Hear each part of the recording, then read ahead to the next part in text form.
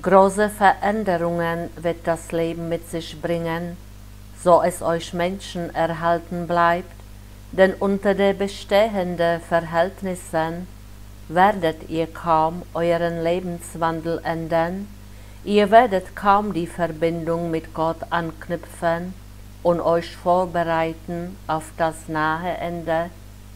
Ihr seht das Leid auf Erden nur als einen vorübergehenden Zustand an und nehmt daher keinen ernstlichen Anlauf zu einer totalen Umstellung, immer in der Hoffnung, in absehbare Zeit in Ruhe und Frieden ein beschauliches Dasein führen zu können.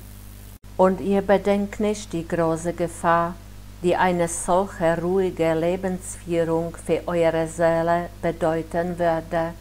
Denn ihr würdet euch wenig um eure geistige Entwicklung sorgen, und das nahende Ende würde euch völlig unvorbereitet finden, weil die Welt mit ihren Freuden euch noch ganz und gar beherrschen würde, ihr also die Materie noch nicht überwunden hättet, wenn ihr eure letzte Willensprobe ablegen sollt. Und daher müsst ihr hingewiesen werden auf das nahe Ende. Es muss eure Denken in andere Bahnen geleitet werden.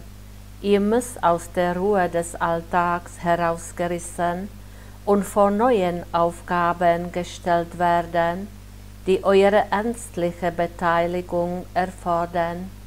Ihr müsst an der Not der Mitmenschen reifen, das heißt, sie muss euch zum Liebeswirken veranlassen, sie muss in euch den Willen rege werden lassen, ihnen zu helfen, auf dass ihr durch diesen Willen zur Erkenntnis kommt, dass dieses Helfen wollen eigentlich eure Erdenaufgabe ist und ihr euch nun befleißigt, diese Aufgabe nachzukommen.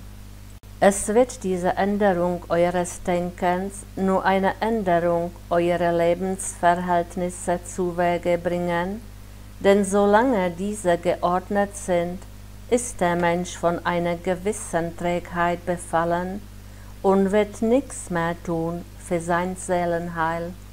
Er würde sich selbst und auch seine Mitmenschen ohne geistige Speise lassen, denn er wüsste nichts um deren Segen, und also blieb er ohne Kraft und Gnade.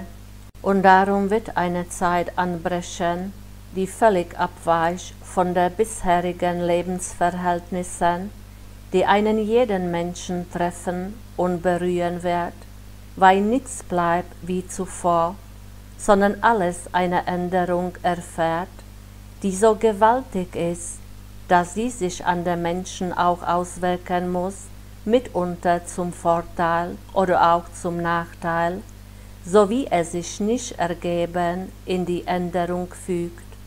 Denn Gott weiß wahrlich, was der Menschheit dient. Er weiß um deren Not und er kennt die Mittel, diese Not zu beheben, und er wird sie auch in Anwendung bringen, um die Gefahr eines völligen Versagens in der Endzeit noch abzuwenden, wo es möglich ist. Amen.